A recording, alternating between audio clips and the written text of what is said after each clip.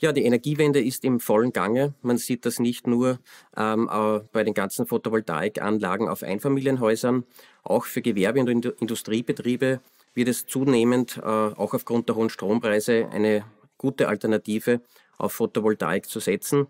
Und daher möchte ich mich in meinem heutigen 3 Minuten Umweltrechtsvideo mit dem Genehmigungsregime für gewerbliche und insbesondere auch Abfallbehandlungsanlagen auseinandersetzen.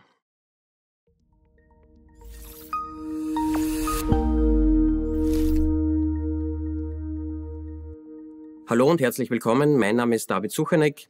Ich bin Rechtsanwalt bei der Umweltrechtskanzlei Niederhuber und Partner mit Sitz in Wien, Salzburg und Graz.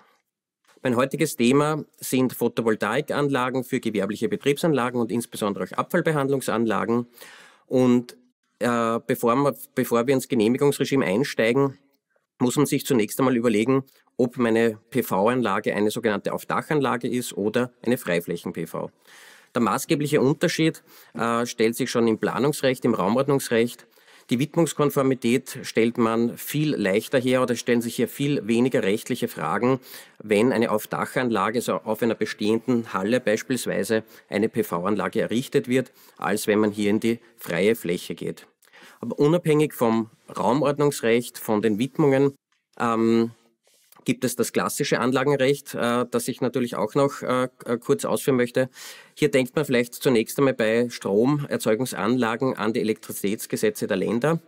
Diese kommen aber nicht zur Anwendung, wenn die Anlage der Eigenstromerzeugung dient. Also das heißt, wenn der Betrieb den Strom selbst verbraucht.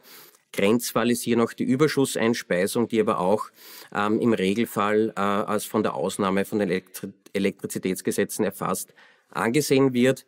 Ähm, daher greift dann zur äh, Genehmigung derartiger Anlagen das gewerberechtliche Genehmigungsregime plus äh, das Baurecht. Das kann sich jetzt unterscheiden in den einzelnen Bundesländern, vielleicht nur Anzeigepflicht, vielleicht eine Genehmigungspflicht und eine Genehmigungsfreistellung. Ähm, es ist also unterschiedlich in den einzelnen Bundesländern.